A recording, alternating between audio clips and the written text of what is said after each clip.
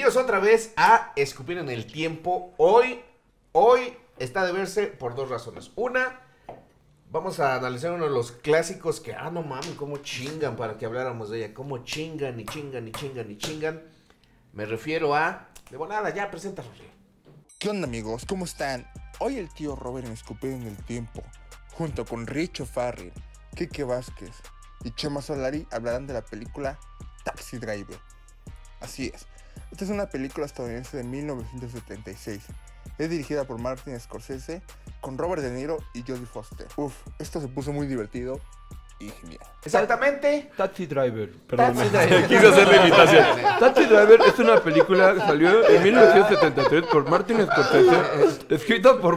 Perdón, perdón, Rory. Sí, ok, sí, sí, es, es muy parecido a como la presenta Rory. Y bueno, ya, ya vieron a quién tenemos aquí a la derecha. Él la pidió, él dijo, quiero Taxi Driver y concedido el señor Richo Farrell para Oh, que muchísimas gracias. Un placer estar aplauso, cerca de tanto un erudito aplauso, del ¿eh? cine. Un, un verdadero honor estar aquí. No, hombre, no, hombre. De, de mi lado derecho, Quique Vázquez, que, que también ya es un gran conocido de aquí. Yo no De mi sabía, lado ¿eh? izquierdo, el Chema Solari. ¿No sabías que venía Quique? O sea, no, no, yo no sabía el pinche conocedor de cine que era y este y cómo se podía expresar tan, tan precioso. Sabía de la psicoterapia y tal, ¿Sabes pero que, que más conocedor de cine me encanta porque es conocedor de la condición humana, güey. O sea, ay, a veces da miedo, ¿no? Da miedo. De, de- ahí lo ves caminando y dices, ah, hijos de perra, yo sé qué botones los mueven. Este, y es- eso siempre dicen de los psicólogos, ¿verdad? Sí. Eso es como la sí. inseguridad O que, es- están locos, así de Sí. que ellos por eso son No, psicólogos. pero eso sí, eh. No, no tanto. Madre, ¿Qué tal lo cortaste a la verga? No, No, pero eso sí, sí está loco. Güey, eres psicólogo y estando pero, güey. Ya, ya, ya, ya, ya. pero la locura ya. es más por el estandopero que por el psicólogo. No, no, no, no. o sea, no, no existe estando pero cuerdo, güey. Así no existe, güey. Ujú. Es más, era, era o volverte un taxi driver y, o este, hacer reír en Toluca, güey. Era- o sea, no, es- es- son- eran esos dos caminos, güey. O sea, nuestra mente tenía esas dos opciones, güey. Bendito Dios, cada vez hay más comediantes, güey. Claro, claro. Este, pero sí, bueno. Eh, Eminencia Chema De Solari. eh, izquierdo. eh, de mi lado izquierdo era Chema Solari, ya, ya se me estaba pasando presentar. Bueno. Cada, cada vez más querido, ya, ya, ya se está, Dale, dale, ya se está uh. aventando un tiro con Tato, así ya de que, ay, qué ya. tal, no sé qué. Es que Tato, Tato estaba en la gloria y se dejó caer solito. No, y Sí. aparte el, el Chema Solari es este alto conocedor de cultura Alto. pop. De episodio, ¿te refieres al 0502? escrito por... Y de, ah, chingada, Al- algún día le concederemos hablar de Community. Algún día. Algún día, Ay, algún me, día. avisan ese día, ¿eh? sí. También, de los que estuvieron chingando para Taxi Driver fui yo, cabe aclarar. De las personas que estuvieron chingando fui yo de Tío De Robert, mis cin- invítame, por 50 favor. cuentas falsas. Este. Sus 50 cuentas falsas que decían, no, este, eh, Richie en Pachuca es maravilloso. El, el live en Pachuca. Y esos mismos que decían, Taxi Driver, inviten a Richie. Sí, el especial de Navidad. Taxi Driver es tan bueno como el show de Pachuca. En aspectos similares, fotografía y locura. el especial de Navidad y quise matar a un senador. Ay, qué feo. Ahorita llegamos, estamos viendo las últimas escenas y el tío Robert así, Jodie Foster y el tío Robert así.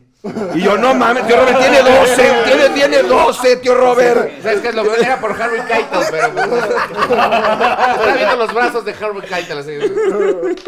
No, fíjate que Jodie Foster no se ve bonito. Pues tiene 12 años, es una morra ahí, güey. O sea, Pero, por ejemplo, ¿has vis- viste a Brooke Shields a los 12 años? es- no, Oye. no, no, no observo, no, no, procuro no observar. Aquí hablamos de Pretty Baby. Güey, es una película la que tienes que ver, La cabrón. Laguna Azul.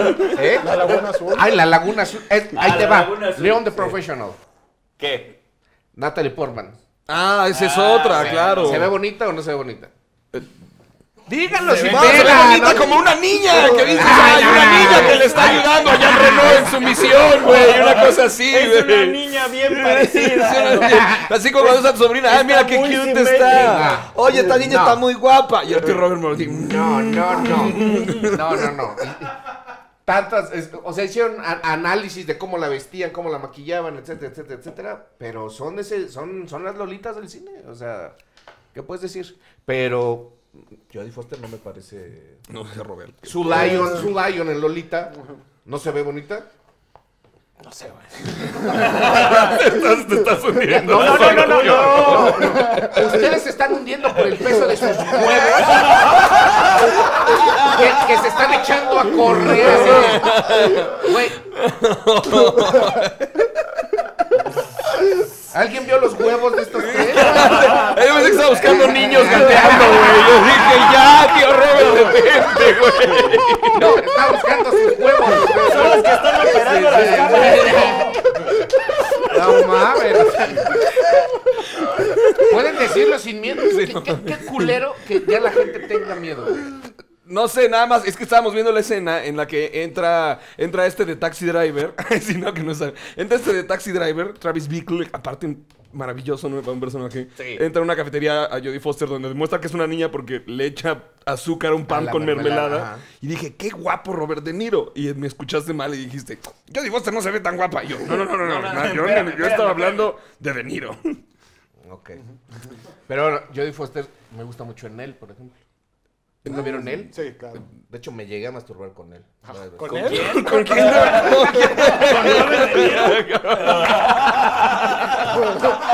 ¡Con él!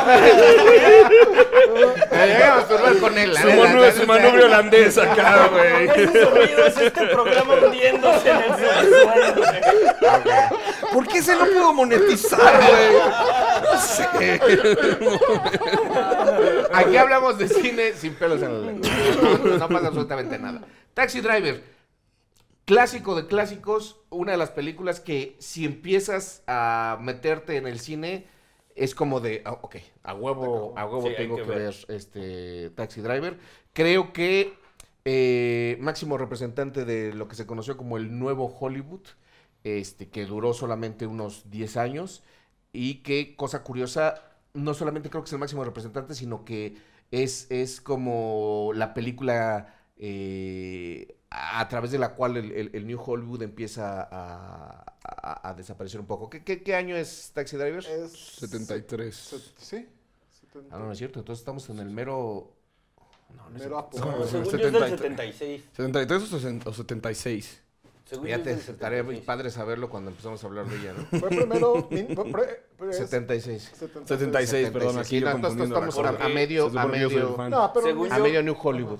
Según yo la, fue en ese año porque justo Scorsese le mamó lo que hizo De Niro en El Padrino. Ah, sí, y a Y, partir según- de ahí. y- y a partir de ahí lo jala para hacer Taxi Driver. Según yo, es la historia Pero que no es la primera, esta es la primera de Scorsese con, Primero, con sí, De Niro. porque antes de eso fue Mean Streets.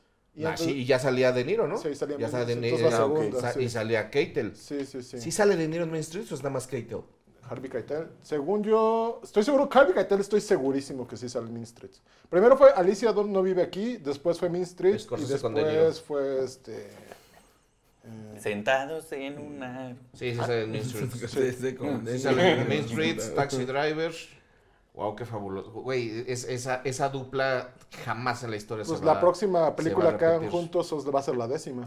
New York, New York, Cabo de Miedo, Casino. ¡Ay, güey! Irishman, Main. Street, Skin of Comedy, Goodfellas. Taxi Driver, Raging Bull. Raging- Y, y la que sigue es con, con Con. DiCaprio y con De Niro. que Madre, sí, dos, bueno, Paul este, Schroeder también, este, recordémoslo aquí. Paul este, Y Paul Schroeder va a que- ser... Que se de- mencione también en No, bueno, esta... Paul Schroeder que creo que es el guionista eh, más cercano a, a lo que sería el, el- el realismo sucio dentro de la literatura en Hollywood. O sea, ¿Sabías que su- la primera película que vio su vida fue a los 17 años? O sea, ese no era Wim Wenders, digo no, no, Herzog. no, no, no. Este vato no, veía películas. De, de hecho, viví, de hecho, el personaje se parece mucho porque estaba muy arraigado. Era una. Este, Estaba muy alienado. Ah, muy alienado. Es que yo había leído que este güey estaba como, era como calvinista o un pedo así y le prohibían todo lo, todo contacto con el mundo real, se lo prohibían. Entonces justo se dice que, trae, de- que Taxi Driver fue como la recopilación de este güey escribiendo solo lo que pensaba. Sí, o sea, es- el, el vato está dando vueltas por Nueva York y aparte le acaban de hacer una operación. Entonces pasa mucho tiempo solo y hace lo que Travis Bickle. Empieza a ir a cines porno solo y de repente pues, se da cuenta que es un güey vagando solo por Nueva York adentro de una caja de metal y dice, ok, me voy a sentar a escribir una película de esto. Y basado en los diarios de este güey que te decía que intentó matar al, a un candidato que se me fue ahorita el nombre otra vez, eh, Wallace. yo- George Wallace. George Wallace, basado en los diarios de la persona que intentó matar a un candidato, se inspiró mucho para Taxi Driver. Que luego el dato curioso es que un güey se hace fan de Jodie Foster, no es el tío Robert, y eh, me e intenta matar a, a un candidato No, para, a, no, a, a Ronald a- Reagan. a Ronald Reagan. para, Pero ya como presidente, no, no Sí, es ya siquiera co- ya como ya como presidente. para sorprender a Jodie Foster. Para, llam- para llamar la atención Para de llamar la Jodie. atención de Jodie Foster y le hace una carta. Ay, Todo está unido, güey. Y venimos de Apocalypse Now del episodio pasado. Sí, y esto es como la consecuencia Sí, post-Vietnam de cómo la ética de un sujeto se ve. sí, Toda to- torcida. toda esta alteración post-Vietnam que, que durante los 70s y 80s fue avasalladora para, para la cultura para la cultura norteamericana. Este, eh, eh, me, me parece que Schrader, como tú lo mencionas, que, que si no ven esta película que sacó hace un par de años con Ethan Hawke, que es, que es un padre... Ah, no la vi esa, pero No mames, está ¿Sí muy está buena? Aunque sí traía un cúmulo of Schrader de películas bastante culeritas. Incluso esta que sale, hace con Lindsay Lohan y un actor porno, no me acuerdo, que era ho- horrorosa. Pero Schrader Ah, siempre el- fue la personalidad de Hollywood que se llama- se intentaba... llama James Dean, el güey. Ajá, Pero con doble E. Ajá. James Sí, Dean. Ah, se es ese güey, James Sí, James, sí, sí. órale. Este, bueno, pero Paul Rudd es, es- es esta persona en Hollywood que siempre intenta ir más allá y hablar de pornografía y hablar de, de- de incesto. Y hablar- o sea, eh, eh, siempre tiene este, esta vena violenta, este, no condescendiente con los productos que salen de Hollywood. Y creo que era importante, incluso sano para Hollywood, que, que exista una persona como, como Paul Schrader en los medios. De repente, los mismos cineastas le decían, Paul, Bájale de. Bájale, bájale dos rayitas. Eh, eh, en Raging Bull eh, sé que había una escena donde este el, el boxeador este, se estaba se estaba masturbando y quería que eyaculara mientras Scorsese grababa. Scorsese le dijo, güey, Mm, ah. Tranquilo, cabrón. Después en los 90 sí llegaríamos ya a este tipo de... De Oliver Stone, de- de no, no, no, no, no. Yo más bien pienso en personas como Larry Clark, por ejemplo, este, Harmony Corinne, este, gente que ya, que, que- que ya le dio una revisita a la violencia de manera muchísimo más, muchísimo más cabrona. Pero bueno, empezamos ahora sí que por el principio. ¿Cómo llegaste a Taxi, Taxi Driver? En la tele un día. O sea, de, de morrillo, de que mi hermana le estaba cambiando porque era la dueña del control de la televisión.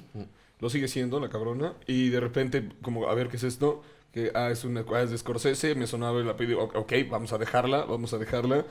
Y recuerdo que era así como un viernes en la noche que habían salido mis papás a cenar. Y estábamos en la tele así los dos de, ¿qué chingados es esto? ¿Qué es esto? Y el soundtrack, que parece... Precioso. Parece como todo el tiempo un... chunk. De- Ajá, de y te de hablando y esta tensión y me sorprendió mucho de morro no, no saber, no sé si, si, si la ve- viéndola adulto reaccionas de la misma manera como, como, ¿qué chingados está haciendo este güey? O sea, durante toda la película estás diciendo, este güey es un sociópata, claramente, y va a hacer algo malo.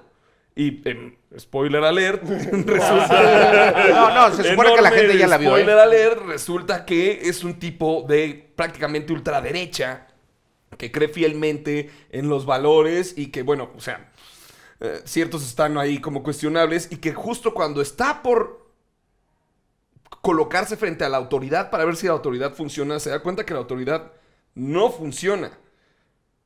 Y la cuestiona una vez más antes de hacer su acto, que es cuando va y se para frente a este político que no sé si ustedes piensen que iba dispuesto a matarlo o no va dispuesto a matarlo, pero nada más se mete, se coloca frente a él y se mete la mano a, a- La chamarra. a la chamarra. Pero no saca ningún arma. Lo que siento que está haciendo aquí es probar una vez más que el acto que está por realizar lo tiene que realizar él por sus propias manos, porque un güey que está diciendo, We are the people, nosotros somos la gente, nosotros somos la gente, está diciendo, está diciendo, y al final no logra nada. No, yo creo y que tiene que ser un, un- un justiciero en las Sí, calles. yo también creo que sí, que sí, que sí, que que sí. sí le va a Ok, matar. entonces me la... Voy a buscar mis huevos. No, Me, pero- me- me voy y me llevo mis Pero te huevos. digo por qué yo creo que le iba a matar. Eh, en esta escena donde sale Martin Scorsese, el director de la película, donde están ellos, está esperándolo y le dice que va a matar un taxi. El personaje yo creo que es un, un envase vacío, no tiene personalidad. Eh, él, todas las cosas que hace son las cosas que ve, ¿no? Por ejemplo, esta escena icónica de Are you talking to me? Are you talking to me? Es porque la chica, este, ¿cómo se llama? La actriz que... Sybil Shepherd. Sybil Shepard dice esa misma frase y la repite. Cuando va a la tienda y compra el disco de Chris Christopherson, es porque ella habla de Chris Christopherson y lo compra. Entonces, cuando ve que este cabrón va a decir, voy a matar a esta morra, es la primera vez que le mete la idea a la cabeza y dice, ah, no mames, voy a matar. No, es un güey que... eh, Pero ojo, porque él había sido Marine. O sea, no sé si había estado sí, en combate. pero le meten es la idea. Y pues si no, ¿para qué sirve esa escena entonces? No sé si, si yo, yo creo que él a lo mejor ya había matado. No, definitivamente. Definitivamente había en la matado. guerra no, matado. claro. Definitivamente. Definitivamente. No, de, de hecho lo dice en, en el principio. Que eso es lo, lo más interesante de esta película, es lo que llaman en Hollywood un character study, que son estas películas que la trama no es, lo que no mueve es la trama, sino todo lo que está aconteciendo desde el- en el personaje, ¿no? Películas como Le Samurai, como El Ciudadano Kane, que lo que importa pues más bien es todo el trip que trae y se ve reflejado afuera. Por eso yo sí creo que lo iba a matar y no, pues es, es, es, es una construcción de personaje maravillosa, que hace rato estábamos viendo ya las últimas escenas, que explota de una manera maravillosa en esta escena, que este, justo cuando va con el político y que vemos cómo la cámara se mueve, se mueve, se mueve, se mueve de repente, y termina en su chamarra, ¡pum! Jalón, y ya vemos que es el mojo, ¿no? El personaje lo hemos visto construido de formas interesantes toda la película. De repente es vaquero, de repente es este marín, y ya tiene este momento en el que dice, no, a la verga, me voy a convertir en esta máquina, en este rollo de ya no me voy a meter drogas, voy a hacer ejercicio, y termina en este momento que pues es como su, su última transformación. Entonces, por eso yo digo, sí, sí lo iba a matar. No le salió porque es muy chistoso, porque por ejemplo es... Está bien cabrón como en todas las escenas donde aparece junto a otros personajes, ve cómo se mueven ellos y ve cómo es él.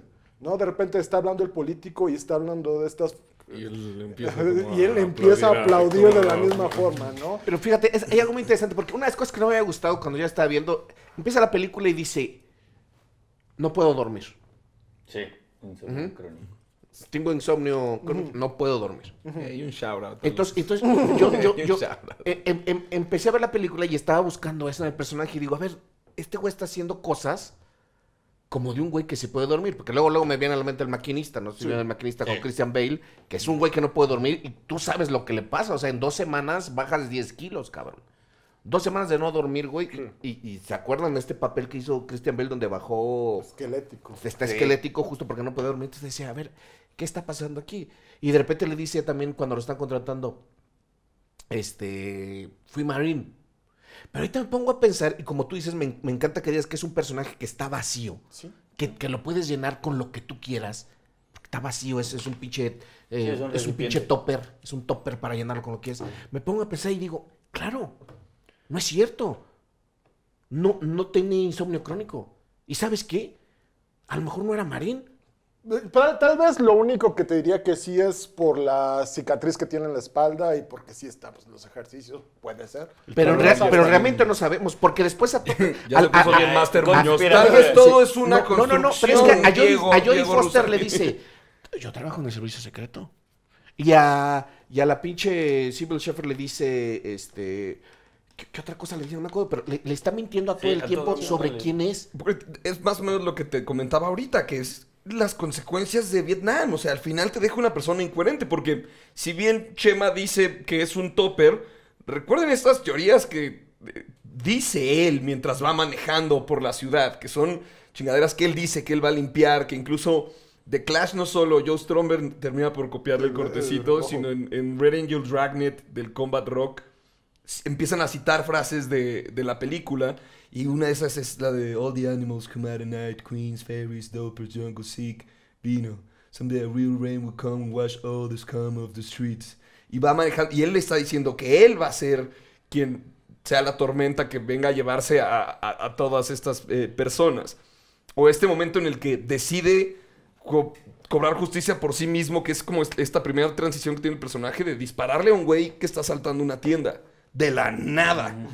De la, dices, lo va, lo, lo va a apuntar un rato, que también es algo muy chocante que tienes Es como, ahorita le va a apuntar un rato y le va a decir, baja el arma. Y no, lo ves Directo. directo, de 0 a 100 a la chingada. Pero creo que sí lo justifica Scorsese, porque el negro sí... Sí, Sí dispara, sí- no, sí no muestra el dispara, arma. sí muestra el arma. entonces, ¡puf! ahí es cuando, cuando lo, lo revienta. Pero Pero creo que. Creo, creo que he visto así, si estamos desde el principio con un.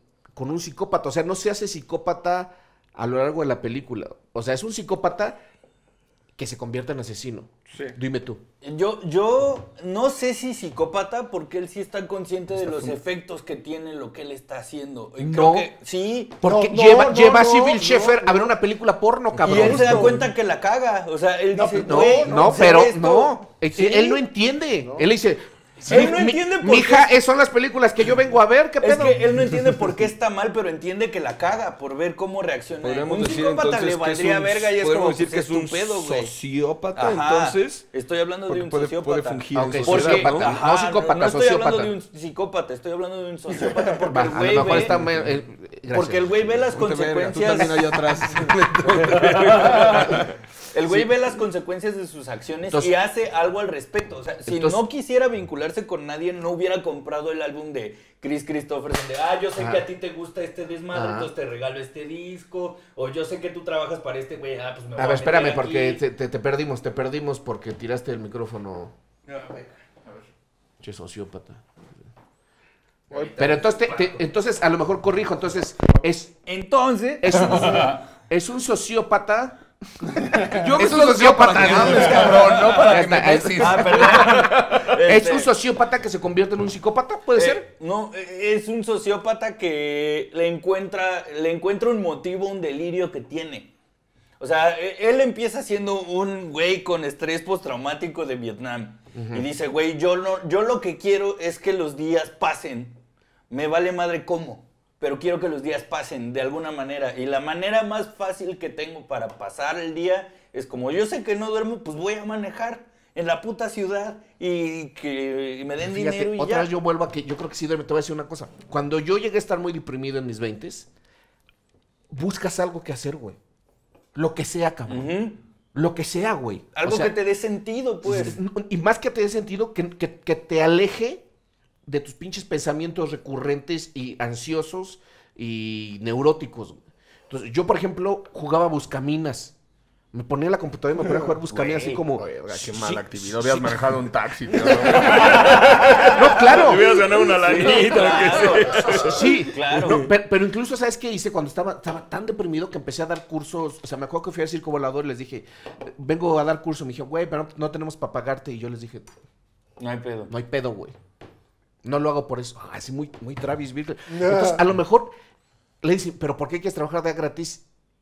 Y antes que decir, porque estoy deprimido o me está llevando a la verga, dice, ah, pues porque no puedo, porque no puedo dormir. Porque en ningún momento realmente vemos que no pueda dormir, cabrón. De hecho, nunca tiene ojeras, por ejemplo. Exacto. Por eso yo desde el principio decía, bueno, ¿qué pedo con esto? Pero tiene esos momentos en donde va en las noches caminando, manejando muy tarde, como taciturno. Pero no significa que no pueda dormir. O sea, creo que es un güey que se lo está cargando a la verga y busca en qué entretener su, Sí, su yo, pinche yo por eso pensaba que tiene estrés postrauma de Vietnam.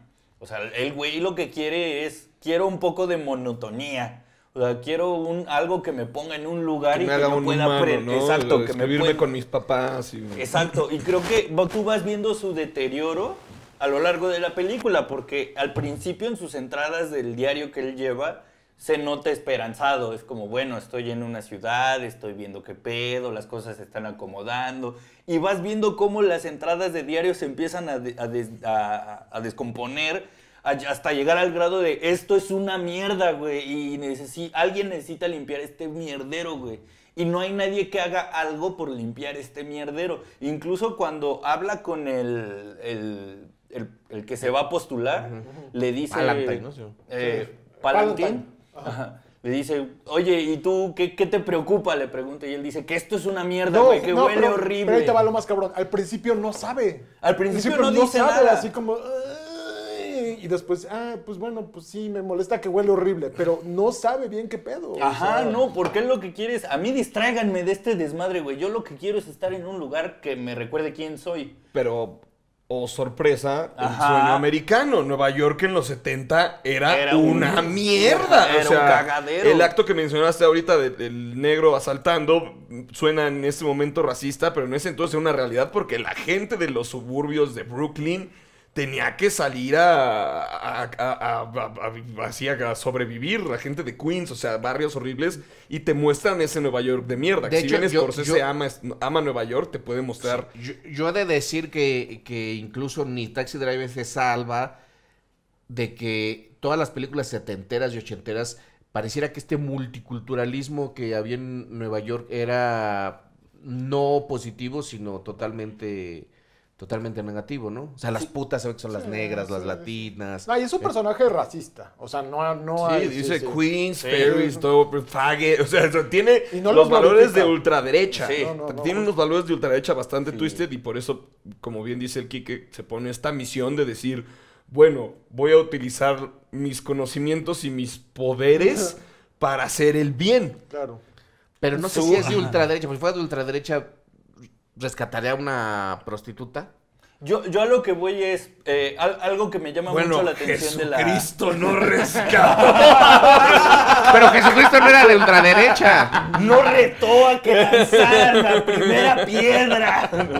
No, un- una escena que me gusta mucho es cuando él va en el taxi y ve a esta Civil Shepard de blanco toda, justo después de haber escuchado la entrada del, de- de- del diario diciendo esto es un pute, esto es un mierdero que huele mal Y él la llama todo un está ángel. sucio y él la llama un ángel que nada de lo que pasa en esa ciudad la va a manchar ni la va a ensuciar. Entonces el güey lo que quiere es como salvar lo que queda de pureza o de bonito o de no sucio que hay en la ciudad. Y esa es la misión que él se pone. Porque cuando va con los compas taxistas le dicen, güey, te estás metiendo a Harlem, güey, y no llevas un arma, güey, ¿qué pedo? ¿Qué te pasa? Y él dice, pues qué, güey, o sea, todo esto es un mierdero, nomás que yo me meto de donde sale la mierda, güey, y tú no.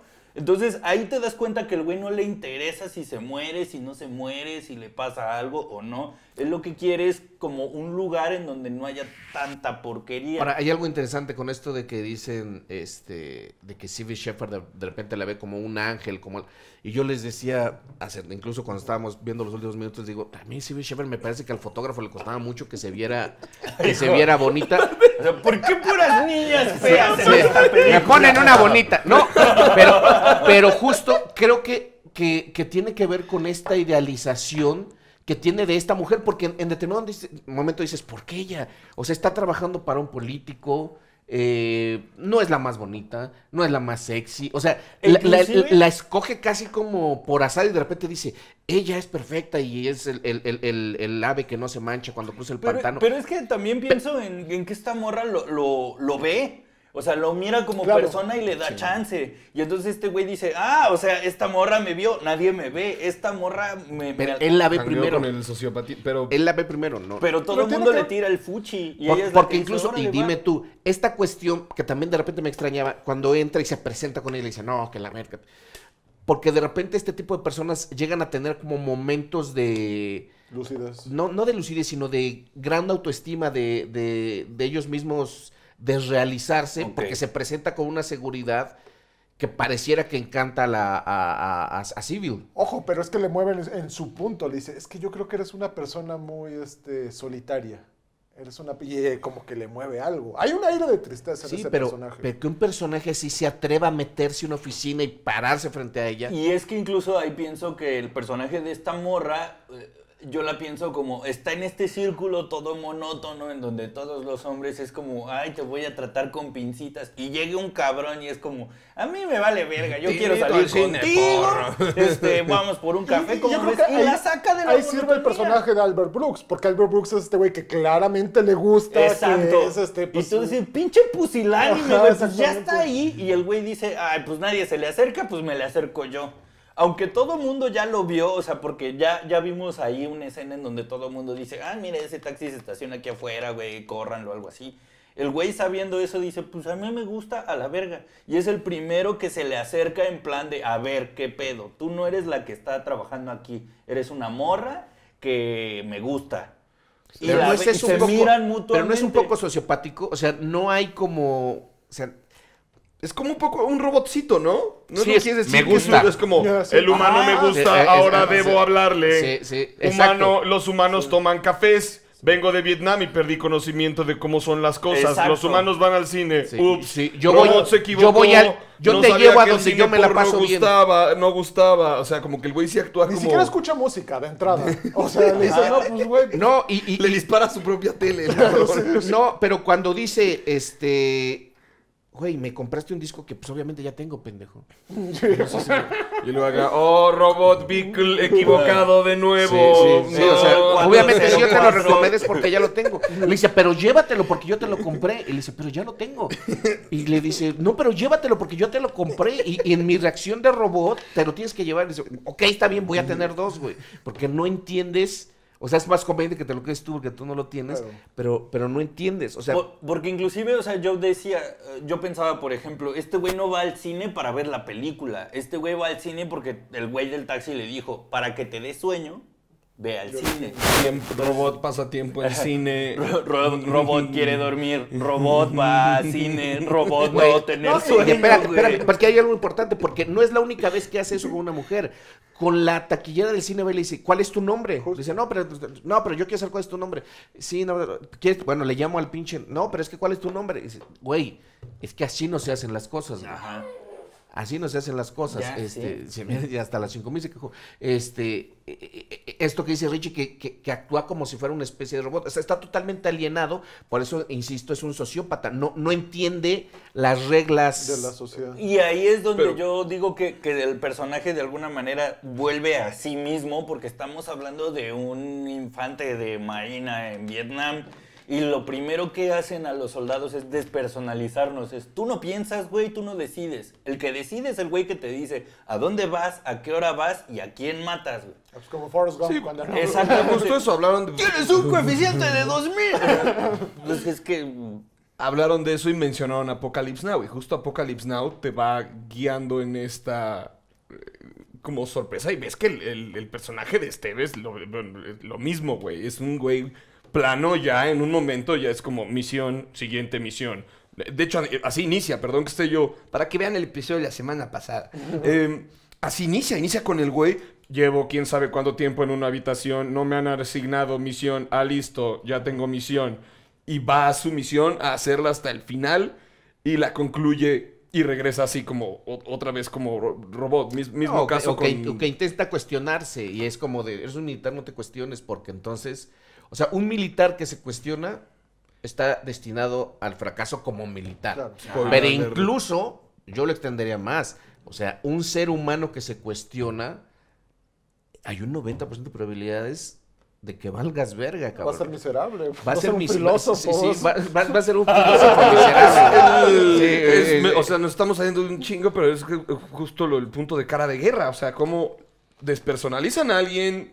Eh, voy con spoiler alert. Al que más des- logran despersonalizar termina pegándose un balazo. Y ahí es cuando la película toma este giro. Y el personaje que se intenta mantener humano toda la película, que es el eh, que trae aquí el, el signo de paz. Se intenta mantener humano, se intenta mantener humano, se intenta mantener humano. Y al final, después de matar gente, va.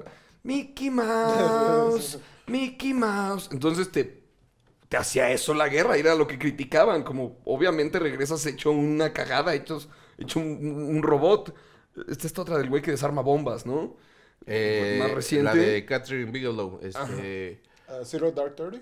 Zero Dark Thirty. No, es la, es la anterior, ¿no? Es, es, es, es- es, eh, Zero Dark Thirty, la que se de ganó el. Oscar. Que la que se ganó el Oscar. Justo regresa de la guerra, va al súper y.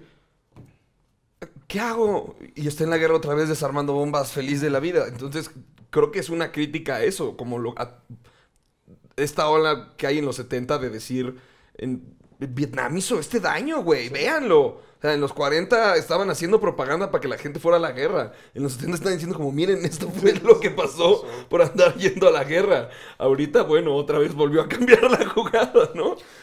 A mí lo que se me hace también interesante es, yo creo que sí iba a matar al candidato, pero como pudo haber matado al candidato, como pudo haber matado a, a quien fuera. E- e- En esta cuestión de, de darle un sentido a quién es y para qué existía, pues pudo haber agarrado cualquier cualquier este conflicto, ¿no? O sea, eh, bien pudo haber dicho, "Ah, hay que matar a este Chris Christopherson. No, pero, no, pero es que creo que por eso está esa escena de, de lo del taxi. Porque creo que la idea que se siembra ahí es el que no hace lo que debe hacer, merece la muerte, merece que lo mates. Entonces él Pero ¿por qué mataría el candidato? Ahí sí yo... No, es que el güey le dice, no, mi esposa se mata". fue con un... Yo te convenzo. Eh, mi esposa se fue con un negro. Entonces él dice, pues nadie se mete con negros, entonces hay que matar a esta morra y de paso al negro. No. Entonces el güey le dice, no, hay que limpiar, le dice al candidato, hay que limpiar la ciudad. Y él dice, ah, sí, lo voy a tomar en cuenta. Y ve que la mierda sigue estando. Entonces en su cabeza es como, güey, nadie ha limpiado el mierdero, güey, ¿quién lo va a tener Pero que todavía ni ha limpiar?" ganado ese güey. Exacto, pero el güey, o sea, el güey en su cabeza no entiende cómo funcionan las cosas, entonces dice, este güey no está haciendo nada por limpiar, nomás están diciendo que van a hacer cosas, pero no hacen nada, yo me voy a tener que ensuciar las manos, y es cuando se vuelve a convertir en robot. Deja de ser la persona que está intentando ser para convertirse en una máquina que tiene una misión y Tal que vez empieza una máquina que es una que es- pues capaz de sacar armas. que- Exacto, él, él se empieza, él dice, todos mis músculos tienen que estar tensos y yo tengo que tener armas y todo, Ahí y se empieza. El cajoncito, el famoso Sí, cajoncito, ¿no? Sí, sí, sí, es a partir de ahí que él, él encuentra una misión que es alguien tiene que limpiar el cagadero y el primer culpable eres tú porque yo te dije que lo que había que hacer era limpiar el cagadero y no lo estás haciendo. No sé, que yo creo que estás justificando el por qué va a intentar matar al candidato. Y, y a mí lo que no lo quiere matar. Sí lo quiere matar. Sí lo quiere matar. Sí lo quiere matar. Pero yo creo que más bien lo hace por chingar a la morra. Es decir, de, me, tratas, me trataste de la verga. Ah, claro, es una me gran teoría. trataste de la verga. Y entonces, pues yo voy a matar por lo que tú estás viviendo, que es tu conflicto en este momento es que ese güey gane- Llegue. llegue. a la presidencia. Entonces, pues ahora yo lo voy a reventar. Y justo no sí. puede, y justo se encuentra con, con, con, con Jodie Foster y empieza a tener una especie de relación más o menos parecida a la que tenía con, con Civil. Le, bueno, le invita un café, ta, ta, ta, ta, ta, ta, y dice, ah, bueno, entonces ahora, como este topper vacío que es, dice, ah, no, ahora lo que tengo que hacer es lo que no hizo el candidato. Yo voy a ir a, a- matar. Bueno, pero es que está desde este antes. cabrón. Está esta escena del billete, que a mí me el simbolismo del billete me parece maravilloso, que es cuando se lo quiere... La primera vez que se encuentra Jodie Foster, Harvey Keitel llega y le dice, tú no viste nada, y le avienta un billete De 20, arrugado ajá. de dólares que él guarda, y de hecho en otras escenas que tiene que pagar, ve el billete y se acuerda y dice, no mames, es su gran, su gran, este, pues donde la cagó, donde no hizo lo que debía hacer, y siempre lo tiene. Y tan es importante ese billete que cuando va con Jodie Foster, con este, pa- con este mismo billete paga y está ce- cerrando esto. No, se lo regresa. Le dice, este es tuyo. No se lo da a... No, no, a- no, no, no. Cuando, cuando les dispara, creo incluso en el momento de los disparos, ¿no? Es cuando le avienta el billete de 20, el arrugado, y le dice, esto es tuyo, cabrón. ¿Sí? Sí, sí, sí, sí, sí, sí. Ah, al de la entrada, ¿no? Heineken no corona. El, la cor- corona, voy a... A ver. Perdón. Gracias. Eso. Eh, Esa no esa- había pensado eso. Y lo que dices ahorita es, un, es el, el- el epílogo final. Bueno, no es epílogo, pero al final, final. Se ve como ella se sube a su taxi y le, le intenta tirar la onda. Y Pero ahí él dice como, no, ya Yo quiero no, güey, ya El, el- Nel". el final, digo, a mí me parece hasta un tanto ambiguo. obvio. Todo lo de Civil Shepard se lo está imaginando. Es que te va, yo Ese güey sigue en coma. Sí. O ya se murió Sí, a la verga. Sí, Claro. Sí, sí, Sí. no, no, no mames. A ver, le dice, han pasado cuatro semanas y, y él nada más tiene aquí un rasguñito y ya tiene su pelo largo. Ese, ese, Pero... ese pelo te crece en un año. Ahí te va. ¿Y sabes por qué también es cierto? También no sabes por qué es cierto. Porque Pero está el periódico en la pared y está la carta en la pared. no, Pero yo- es su imaginación, yo güey. digo que es- está en coma y ¿sabes por qué? Porque la cámara, cuando esto, la cámara se va como, como si fuera un alma, se va a la parte de arriba, va todo Exactamente. arriba y... uh, Qué dato curioso, tu- tu- tomó un ratote hacer esa pinche escena porque tuvieron que quitarle el techo al edificio y casi no tenían varo en la producción de la película. Es una producción de muy bajo presupuesto, todos aceptaron cobrar poquito. Y para esa escena tuvieron, fue un pedo quitar todo el pinche techo para que pudiera pasar una cámara, por y, arriba. y- y subir. Pero tienes toda la razón. Es que pareciera un punto final y pareciera que sí es un alma que a se está, que se está yo yendo. acá de sí, Sí, es de, ¿no? es de Y un de héroe repente- neoyorquino, un héroe anónimo. Y de repente es como que él se imagina una carta donde le agradecen. Sí, Sí. Travis. Todo salió tú perfecto, fuiste la todo salió verga. perfecto. Y aparte dice: Travis mata a un alto gángster. ¿Cuál alto gángster, güey? claro. Era un pelele, güey. Era un pelele. Y entonces se sube ella y le dice: eh, Buenas tardes. Y después, Hola, Travis. Y él voltea y dice: Hola. Dice, Oye, Travis, leí de ti en el periódico y ah, ya sabes. Y le, dice- y le va a pagar, le dice, no, llévate, llévate tu dinero. No, para mí, para mí obviamente esto ya es producto claro, de la imaginación de, de Travis, tratando de, de- de pensar él que, que hizo lo correcto y que incluso, porque parece un cuento de hadas, cabrones. Muchas gracias, la niña ya está con nosotros. Sí. Te agradecemos que la hayas Es mandado. un héroe. Ah, está en la Escuela. tiene grandes calificaciones. Ah, a mí me encantaba Ah. pensar que un pinche loco podía ser un héroe de repente. y, ahí, y ahí la conexión que decíamos que en su momento a mí, a ti te, te- te- te- se te pararon las chichis, pero a mí me, me hizo como medio encabronar cuando fui a ver Joker, decir, "Eh, ¿qué, qué, qué, qué, qué, qué, qué, qué? Esto es entre de comida y Taxi Driver, ¿qué está pasando aquí? Era, era un tema que querías, este, dos, tres... eh, Sí, mencionar, no, es que yo, yo, de- yo cada que veo estas eh, películas del nuevo Hollywood me gusta más este el Joker porque to- to- Joya, eh, to- to- joya. toda esta sensación este de- del cine de los setentas eh, de ciertas personas en Estados Unidos me parece fabuloso. Me parece fabuloso que incluso Scorsese produzca produzca el Joker, o sea, sea, sea uno de los de los productores, sobre todo cuando ha hablado tan mal de las películas De superhéroes. de superhéroes, ¿no? Como que dice, bueno, ok, vamos a agarrar una y vamos a ver qué, qué podemos hacer. hacer? Y, y- y le da una revitalización a Taxi Driver muy cabrona, o sea, pa- para... Ya de, ya de sí, comedia, sí, de sí. King, of Comedy, King perdón. King, no, pero de King of Comedy y, y- y- Network. y Coming Home y, este, y Network y, y obviamente ese cine de William Fredky, de Peter Bogdanovich, de este de, de- de- de- de tantos que hicieron en, en- de Coppola. Este, Y luego está joya que, perdón, que, De Niro sea el host, o sea, que además Sí, claro. traigas de vuelta. Traes de vuelta, traes de vuelta a De Niro. Y él recibe el tiro, además.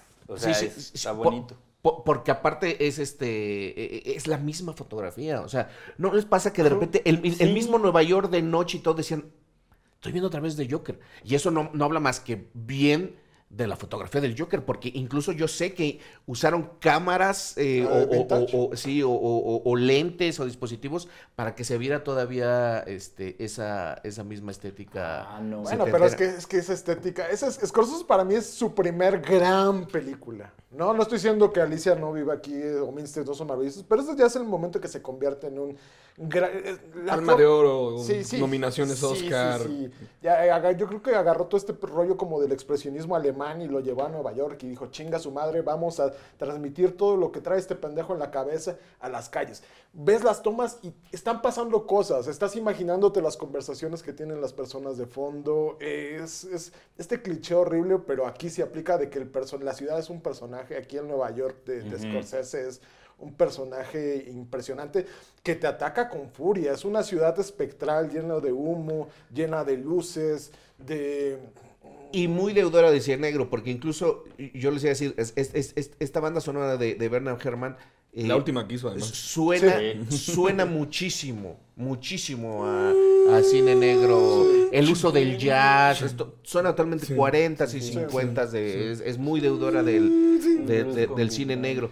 Este, eh, creo también, este, me parece, me parece importante señalar que para mí es una de, la- de estas primeras películas que habla de, de, de, pues, de un sociópata, de, de- de un asesino. O sea, creo que esta y psicosis son de las, de las, de las primeras mainstream que dicen, a la verga, realmente un hombre puede, puede irse a la chingada y, Y- volverse, volverse loco. Y es que además creo que hace mucho énfasis en un güey que no duerme que se enfrenta a esta ciudad furiosa. O sea, no, claro. es, o sea, no es de gratis, pues.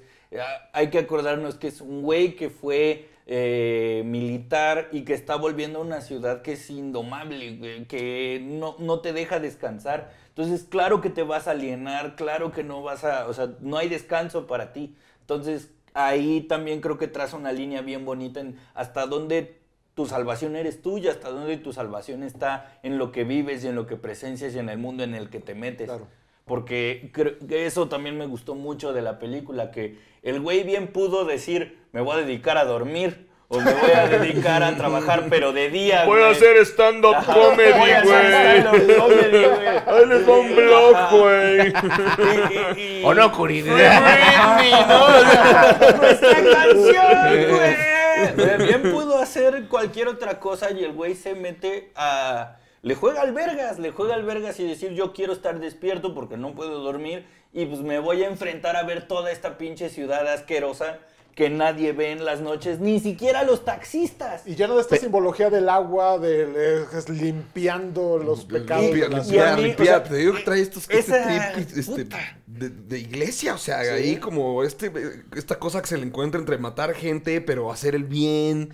Como el ángel caído, ¿no? Ajá, El como ángel este tema de ángel caído y por eso el punto en el que se va a suicidar, porque es como, tiene Ya que regresar, ya cumplí mi misión, ahora debo morir y clan clan pues no le sale, ¿no? Pero, pero fíjense, esto es, es- es curioso porque es que a Oh, mí es- oh. eso, eso me da más miedo. Porque lo que te intenta decir la película, o sea, con, con esta lectura es gente vacía se puede llenar De lo que sea. de lo que sea, cabrón. Sí. Incluso se puede convertir en un pinche, en un derechista, este, se puede convertir en un, Entrar seguidor, un en un cultito. seguidor de Trump, se puede convertir en un pinche neonazi, a pesar de ser moreno, cabrón. O sea, que existen, güey. Se, Sí. se- se- se puede convertir en...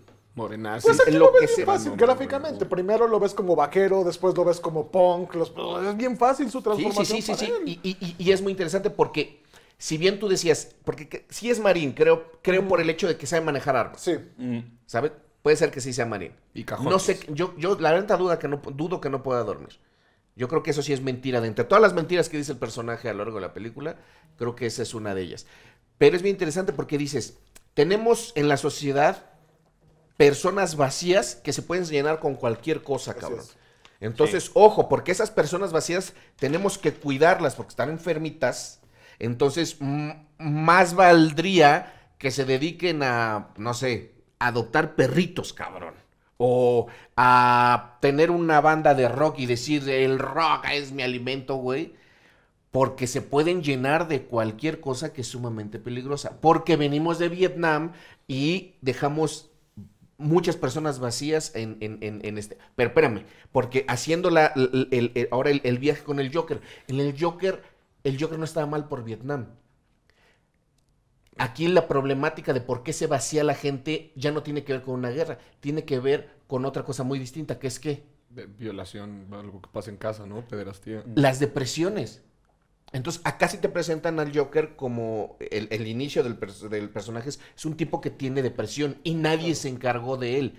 Y como no te encargaste de él como sociedad, va a venir y, y- y va a es que- reventar. Justo- es justo Es lo que, que ahí- dice, lo- de- perdón, Doc Stanhope en No Place Like Home defiende ese argumento, como dice, nunca lo atiendes, güey, eh, Sí, la persona con la que vivo, Bingo, mi, es que Bingo no es su esposa, pero de- digamos que es su esposa, porque, em, dice, para ir a atender su esquizofrenia tenemos que pasar por una licorería, por una tienda de armas y la esquizofrenia se la atienden a través de una computadora, una persona que está del otro lado. Dime si un esquizofrénico quiere ir a ese pinche tratamiento. O sea, dice, en donde ni siquiera hay una persona No hay una persona, y aparte es un güey que probablemente trae unos delirios de que el gobierno los está espiando, güey, y ahora tiene que sentarse frente a una computadora a explicar su situación. Entonces lo que dice es justo esto, no te sorprendas el día que estas personas que no atendiste entren a balacear un restaurante, cosa que pasa seguido en la sociedad norteamericana, como no te sorprendas si nunca diste esta atención y nomás dijiste, tómate este pinche botecito naranja de pastillas, güey, vas a estar bien y vas a poder dormir bien el día que esa persona entre y arme una eh, balacera, al menos Travis lo hace con esta ética de matar a los malos, no muy a la Dexter. Pero, pero tuvimos suerte de que lo que lo llenó fue salvar a una prostituta y matar a un pimp. Porque igual se pudo haber llenado de otra cosa y decir, este, a, mí- a mí en un caso que me pareció horrible, que leí hace como un año, había un güey, un blanco, le diagnostican SIDA. Dice, ah, tengo SIDA, va. Y entonces, de manera serial, en, a lo largo de siete años, se coge a 160 Ah, chicas sí. sin protección, con toda la intención de contagiarlas, pero el hijo de puta escoge puras afroamericanas. Ah, es un no, racista de cagada. Por eso es tan bonita Taxi Driver, tío Robert. Porque piensas que es un chico malo que va a hacer cosas malas y de repente toda la locura y, y los Sí. cajoncitos y esto que dices, Pero ¿qué hace? ¿Qué hace? ¿Qué Sí. hace? Pero lo que está Llegan a un loco es que objetivo bueno. un personaje así vacío, un topper, se puede llenar con cualquier mierda, cabrón. Es Es- que- Eso es lo que es, es lo que da un chingo de miedo. Eso es y porque incluso nos vamos al Joker de Christopher Nolan que dice, yo lo que quiero es ver el mundo arder y que también es ahora ese puede ser su su, su, su pinche Su delirio. ¿no? Su- su De eso está motivación. lleno. Es, es- es muy culero, o sea, y, y es que en el, en el Joker de Todd Phillips, o sea, creo que ambos tienen en común que están en lucha o en pugna con esta perra ciudad. Porque creo que eh, Travis se está tratando de rescatar al principio. Eh, y creo que el, el punto de quiebre, desde donde la miré, es cuando este güey se clava en, eh, en el vaso con Alka-Seltzer. Para mí es un simbolismo bien bonito de esto soy, pero me estoy disolviendo en medio de este desmadre, güey. Y no sé cómo mantenerme unido a mí mismo, güey. No sé cómo mantenerme entero, güey. Me estoy disolviendo aquí y nadie está haciendo paro. Y justo después de eso es que va a hablar con el pendejo este, con el taxista. Y el taxista le dice, pues diviértete, güey. Está Pero, vergas la pero ciudad. No es un pendejo, no lo hace con mala intención. de hecho, no, entiende solo qué es- está pasando. Ajá, solo Desde el punto de vista de un ya. humano normal que dice, pues diviértete, ahí está la ciudad. Y, Peter Boyle. ro- robot. Sí. Ajá, y este güey dice, no, pues es que no están entendiendo que yo me estoy yendo a la verga y nadie me está ayudando de ninguna forma. Y creo que ahí es donde también conecta el Joker. Sí es cierto que desatiendes, pero también es qué tanto esto que nosotros vemos como normal o natural o el hábito, pues sí, la manera natural de desarrollarse de esta ciudad se, se alimenta a base de, de gente, se- o sea, se llena del, por decirlo así, de, de los espíritus de las personas hasta vaciarlos, pero este güey ya venía vacío, güey. Ya le quedaron lo que le, le chuparon lo que le quedaba de humanidad o los últimos rezagos de, pues aquí me estoy agarrando con las uñas y ya no pudo, güey. Entonces dijo, tengo que encontrar una manera de salir. En el Joker es este güey que ya no es persona, que es este payaso, que es este ente que dice, güey, pues si nos vamos a reír, vamos a reírnos de lo que yo diga, ¿no? Pues, a la chingada. Y Travis es como, bueno, vamos a limpiar esta ciudad de porquería. Y la única porquería que yo, a la que yo le debo algo, o en lo que yo estoy en deuda, es este culero que. El viejo marrano. Ajá, que este pinche "Suck- marrano. suck this con- Suck this. Y a la mierda. Y ahí dijo, aquí estamos, aquí hay un pedacito de humanidad. No, lo que quedaba, güey. Pero, pero fíjate, es muy curioso porque también tan se agarra de cualquier cosa que cuando llega con Harvey Keitel le dice, eh, this is, you know Iris? I don't know Iris. I don't mm, know fucking Iris. Y le dice, cara, ¿cómo chingas? No, tú conoces a Iris, güey. Pues es la pinche Judy Foster esta que... No, Iris. Que está fea, Y por lo que, que está fea. Y, y- y- y lo que yo pensaba es, claro, o sea, la morra ni de pedo le dijo su verdadero nombre, güey. Esa Claro. morra no se llama Iris. O sea, se Ah, siguió claro. agarrando a, a- a- a la nada, güey. A una pinche mentira, güey. Se llenó de más vacío, güey. Porque seguro la morra ni se llama Iris, güey. A lo mejor en una de esas está hasta pinche contenta y dice, vete a la verga, güey. Yo todavía no tengo la conciencia de pensar en lo podrida que estoy ahorita. Y el güey va y mata y, y- y piensa que hace un bien cuando en realidad la morra ni se llama así, cabrón. Cuando en realidad la morra dice, puta madre, ese pinche loco Claro, pues sí. me pudo haber matado, güey.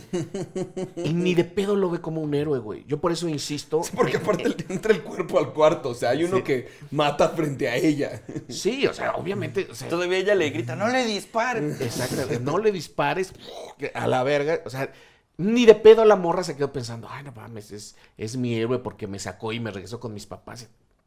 No, pero por supuesto que no. O a sea, mí me es- encanta pensar eh, que sí. Me encanta, no, me encanta no ver el cine como tú. ya de, ¡Ah, qué pena tan feliz! ¡Vamos por palomitas! Sí, sí. Bravo, Sí, Travis. bravo, ni de Travis, pedo. Pero, héroe. pero yo, yo no lo creo, No, pero ni de pedo. lo entendí así. Ni de pedo. O sea, yo lo que creo es que. Porque Como aparte. Birdman, o sea, que se hace su ilusión. Exacto. Te haces Porque tu in- final, incluso pues. hasta cinematográficamente te lo dice. O sea, nunca vemos a Civil Shepherd en su, en su taxi. Vemos el reflejo Claro, del retrovisor de él, güey. Claro. Que ahí fue cuando aprovechaste paréntesis para decir, ¡qué fea está esta cabrona! No, ahí se ve bonita. No, incluso Ah, no, que dijiste. ahí se ve muy bonita, Sí. güey. Es más, las dos momentos donde se ve más bonita, y no creo, no sé si No, es a pues, propósito. las chicas sí los dos lado. momentos donde se ve más bonito es cuando dice, parecía un ángel. Y vemos a Civil Shepard de blanco dando la vuelta en la esquina. Y una cosa que me parece como eh, voló la cabeza, Martin Scorsese está sentado atrás. Ah, sí. Sí. Sí. Entonces es muy raro porque después Martin Scorsese interpreta el papel del güey que dice voy a matar a esa, Ah, ah, a esa cabrona. Entonces dices, ¿es el mismo personaje o, o- o en la primera sí es Martin Scorsese viendo a esta morra a Civil que, que justo ahí y cuando le está viendo en el espejo retrovisor es donde se ve preciosa.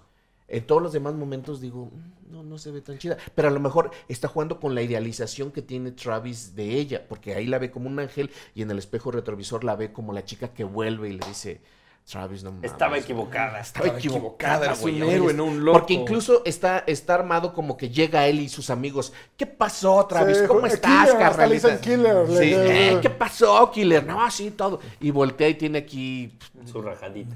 su, su cicatricita. Pero aparte trae un pelo, o sea, de, de coco a como lo trae ahorita, necesitas un año, cabrón. Y después va con la morra y le dice, sí, ya la elección va a ser en dos semanas. Y pareciera como que pasaron tres semanas. Ah, y aparte, Ni na- de nada pedo, puede salir tan... per- todo sale perfecto Sí, al tienes final, razón, o sea, a sí. partir de eso el policía solo se queda apuntando. de nuevo, pensando. Pero se me queda mucho el, el organized. Que, o sea, que menciona mucho el I'm gonna get myself organized. Que no dice organ, dice organized. Yo creo que es porque tenía el cartel y precisamente eso. Es todas las palabras que él ve. Es, es que si- como si yo ahorita dijera, ah, agujero negro, entonces voy a tornado. Agujero, agujero negro. Coca-Cola sin azúcar. Coca-Cola sin azúcar, ¿no? Soy un güey que no tengo ideas y que lo último que veo es lo más interesante y mi conversación. Güey, pero es que, es que qué horrible, güey. O sea, vuelvo a lo mismo. O sea, cuando eres un güey vacío, te llenas con lo primero que se te ponga enfrente, güey. en crisis el tío Robert, no güey. mames, No tío. entran a cultos, salen gente de. Ricardo Ponce y todas esas mierdas, güey. Sí, cabrón. valen verga, güey. Güey, por eso un día estás valiendo actividades verga a la una de la mañana. Sal a andar en bicicleta en vez de escuchar las pendejadas de un cabrón que te está mintiendo. Güey, es que, Richie, por eso un día estás a la una de la mañana solo valiendo verga en tu casa, prendes la tele y escuchas a dos putos Ah, sacerdotes hablando, como- que- hablando portugués. Paren de sufrir, que lo esperamos acá. Y dices, aunque sea con eso me lleno, O güey. no te vayas tan lejos, hablas o, o escuchas a personas diciendo, abre tu chakra del amor, estás huyendo del cariño y vas y te metes a la boca Güey, del lobo, güey. Métete sapo, güey. Ve, ve al sapo, güey. El, el sapo te, te lleva y te dice. Lo que sea, güey. Lo que sea, güey. Adopta perritos, vuélvete vegano, güey. Claro, este, sí, sí, lo total. que sea, cabrón. Riega, una- riega plantas. este, Sí, el punto es pon conectar una con parcela, alguien, lo que güey. sea. Sí, sí, lo Juega que sea. Zelda. No. Exacto, güey. Juega Jálatela. Overwatch, güey. Sí. No mucho, pero jálatela. Vamos, nos juntamos aquí. Jálatela el- con él. Sí, güey. Júntate con tus amigos a hablar de cine, güey. Es un club de cine, güey. Exacto, güey. Exacto. Eh, Pon al cine como si fuera otra realidad y fuera realmente importante no perderte ninguna de las buenas películas que estrenan cada año, güey. Te llenas de lo que sea, güey. Qué puto miedo, güey. Entonces, si somos seres que se van a llenar, llenar de lo que sea, güey, pues ojalá tengamos una baraja de, de- de opciones saludables y positivas. Totalmente. Pero ahí, ahí va, o sea, está, da de, está de miedo, pero también ahí hay un punto de esperanza, güey. Saber que estoy vacío y que me puedo llenar con lo que sea me da un punto de agencia y decir, me puedo llenar con esto. Que ahí es donde Travis tiene su, digamos, bueno, vamos a matar a esta banda que, que prostituyó una morra. Y con esto me voy, me despido, se baja el telón a la verga. Mi, mi, mi acto bueno del día, vámonos, ¿no? Entonces, de alguna manera hay un puntito de esperanza al decir, estamos vacíos y nos vamos a llenar con lo que sea, pero el hecho de saber que estamos vacíos y que nos podemos llenar con lo que sea, nos da un chance de decir, va. Sea, Me la de baraja puede o- presentar otra opciones razón- chidas otra, también. Otra claro. razón por la que murió. La neta es que si hubiera pasado eso, el FBI lo hubiera identificado porque trató de matar a un candidato. Si hubiera pasado este pedo de que sobrevivió como un héroe y estaría en la cárcel. Sí, no, estar en la eh, cárcel, güey. No, no estás a las a, la- O a sea, los es dos. el final de Birdman con este güey A, volando. a lo por la mejor, ventana, sales, a es lo eso, mejor es- es básicamente sales eso. año y medio después, güey. Pero no tres semanas, güey. Y otra cosa interesantísima ya para cerrar, porque ya estamos en la hora. Este. Me rompieron el alma. Me cambiaron. Taxi Driver. Yo no venía aquí a que me cambiaran, a que me Eh, yo no vine a Taxi eso. Driver, güey. Cuando el policía entra y lo ve, increíblemente no dispara. Travis agarra y le hace. Es épica. Ese es de playera. Ese es- Ese es de- es de playera. Pericuapa, ¿eh? De playera de. Playera así de, de Sí, X27 de puesto de Pericuapa, güey. No mames, tiene la del Travis acá, güey. Pagan dos, por favor, güey.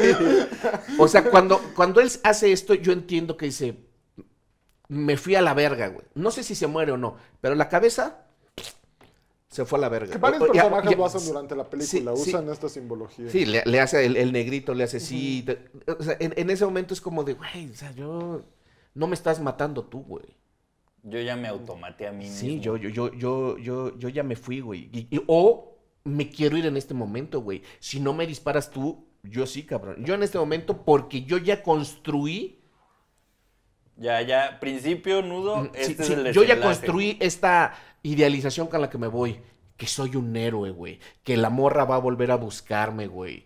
Que, que la prostituta va a ser feliz, güey. Que los periódicos hablan de mí, güey. Bye, güey. Yo me voy con esta pinche realidad, aunque sea, aunque sea falsa. Vámonos. Wow, qué fuerte. Wow. Pero pinche peliculón. Sí, pinche señor. peliculón. La foto está Y- increíble. La foto está increíble. Yo creo que si tenemos que hablar de algo negativo, güey, creo que puede durar 15 minutos menos, güey. Creo que hay, hay algunas, algunas secuencias este, donde aparte la dialogación es, yo la noto un tanto pedestre, güey. Sobre todo cuando está dialogando Sybil Sheffer con Albert Brooks, güey.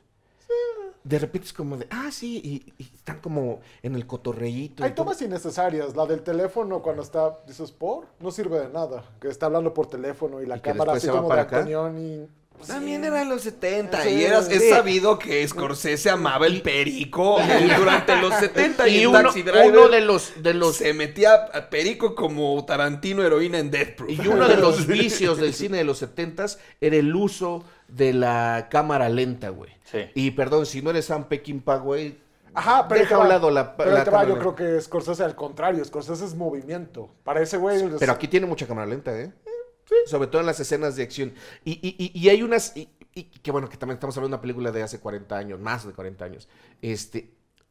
Que, a mí me, me turba mucho cuando de repente se pegan y es así como de, ay, te tiro el putazo, pero no te lastimo. Güey". O sea, Keitel pateando a Robert Ah, De sí, hay Niro. varias escenas, sí. sí, hay, sí. hay varias que dices, Sí. "No mames, Ahí no le esas cosas". pegaron, sí, O sí, sea, sí. hoy ya no le pasa eso, obviamente, hoy ya no le pasa eso, pero hay, hay escenas donde, ay, se- se- pareciera que se están y se ven falsísimos. Este, Cuando le golpea al el, el de la tienda, dices, ay, no le está pegando. sí. Se ve, se ve clarísimo. Ese que te va a ser más chido, pero la balacera al final, recuerdo sí, la primera vez que la vi decir como, ok, esto es de los 70, pero se ve torpe. Como de... Sí, "Ah, hay momentos ah, que se ven ah, torpes. O sea, por ejemplo, eso", como que cuando le vuela- la escena, cuando le vuela la mano- catsup, la sangre. Ah, no, pero ahí te va. Es que supuestamente, y eso lo, lo, lo vi en un video de Ta- Ta- Tarantino, lo pueden buscar en YouTube. Originalmente esa escena era súper sangrienta y súper horrible, tan así que le dieron a la película la clasificación de, X. Ni siquiera X era ya así lo peor. Y estaba este güey loco, pero no mames, nadie iba a ver mi película y lo iba a matar. Dice eso la leyenda, que tenía una pistola y iba a matar al, al head del, del- del estudio, pero que el vato lo único que simplemente como que lo resolvió fue haciendo las tomas que pareciera menos sangriento, cambiándole los colores dos tonos menos para que les dieran un... Y también quitando las escenas de... Hay unas escenas, sobre todo cuando van al cine porno y que se ve que está como que tapado esto, y con eso lo cambia, pero sí, sí, este, este rollo sí está hecho como a propósito para que les dieran un buen, este, para película de Pero de repente sí se ve torpezón, digo, Sí, era, un, era, un troncón, era un- era un Scorsese muchísimo más joven. Sí, claro. Se ve, se, de- se ve la producción es muy baja, lo Salvo cuando le vuela los dedos, que yo hasta pegué el grito, así, ¡oh, la verga! se ve muy cabrón, ve muy chido. pero de repente, I gonna kill you, I gonna kill you", y trae cargando ese güey con una mano jodida, y, y le empieza a hacer así, ah, ah, le empieza a dar unos apes, es como de, güey, ¿qué está pasando aquí, güey? O sea, pero bueno, sí, o sea, lo va cargando, sí, sí, sí. Calzón chino. Sus ¿no? pininos, los O sea, pininos de Scorsese. La ya. puesta en escena eh, a, a ratos es un poquito deficiente. Sin embargo, creo que es una gran película. He de aceptar que yo solamente la había visto una vez a los 17 años. Me acuerdo que me dio mucha hueva y disfruté muchísimo, muchísimo volverla a ver a mis 41. Eh, gracias, güey, porque insistí con Taxi Driver. Y la verdad, es de esas películas que es tan famosa que tú ya la sientes como vista. Sí. Sí. Dices, yo ya, yo ya, palomita, yo ya cumplí con eso cuando era chavo, y ahorita que lo vuelves a ver, eh, revaloro muchas, muchísimas, muchísimas cosas de, de haberla, de haberla visto otra vez. Joyita. Sin embargo, digo, a mí, a mí de Scorsese, Para mí Raging Bull es maravillosa y espero en algún momento aquí en Escupiendo el Tiempo hablemos hablemos de ella. Este, si quieren venir están, están invitados. No sé cuándo vaya a pasar, pero en algún momento. Y si quieren ver secuencias más rápidas de balazos de Scorsese, Casino y Goodfellas, las tienen. Las tie- Ahí sí no dices como, esto está troncón. Por ejemplo, dices, yo- yo- ¡Oh, verga, lo mataron! y Ni siquiera lo estoy venir. Yo creo que esta violencia contenida, o sea, esta violencia que no es explícita, pero que es demoledora, la hace muchísimo mejor en, en Buenos Muchachos con el personaje de. ¿Cómo se llama este güey? El, el chaparrito. Se me fue. ¿Joe Pesci? Joe Pesci. Puta. Ah, sí, madre, Joe Pesci. No Sí, mames. sí, sí. No, pues La ya está el violencia contenida ¿Ya, se- ¿Ya se habló de ese? No. No, pues ya está. No, invítame, Goodfellas. invítame a cambiarme el punto de vista. Ya que- que- ¿Qué? Entonces Goodfellas fue un sueño, güey. ¿Cómo? ¿Goodfellas son buenos? O sea, son buenos muchachos. o sea, ¿De verdad eran buenos muchachos? Robert De Niro no es el protagonista. Te invito para, para Goodfellas. Porque aparte, alguien más me dijo que con Goodfellas. Ah, pues creo que Alex, güey. Creo que Alex me dijo, güey, güey, cuando Goodfellas. Entonces, si quieren, en unos meses se jalan. Yo feliz de la vida, un honor estar aquí. De No, verdad, güey, cabrón. mucho gracias, gracias por venir. Y, y yo valoro mucho que de repente los comediantes, sobre todo los comediantes de la cúpula del poder, como graciosamente les decimos yo y el cojo feliz, este, se quieran venir a, a echar un, un, un clavado cultural y porque aparte yo sé que lo traen.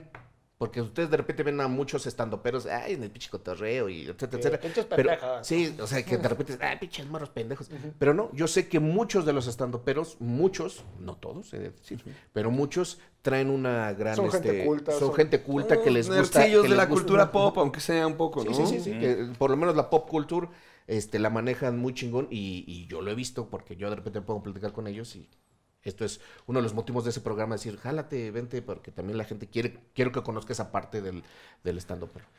El honor es mío, eh, les está yendo cabrón, o sea, yo estoy aquí como de, ah, de veras puedo ir, ah?" de verdad, muchas, muchas gracias, no, muchas no, gracias. Y nos la pasamos increíble. Este, Richie, uno de los grandes comediantes de este país. Cámara banda, nos vemos, nos vemos la siguiente semana. Cámara la banda. siguiente semana. Eh, puta madre, no he escogido película. Lo tengo que decir en este momento. Este, da- dame, dame 10 segundos. Ah, Casino, O- ya hiciste no, Casino, no, eh. Shrek. eh, Shrek, sí, tenemos Shrek atorado. La siguiente semana, Shrek, Shrek. Es verguísima, Eh. Shrek es verguísima. Cámara, nos vemos.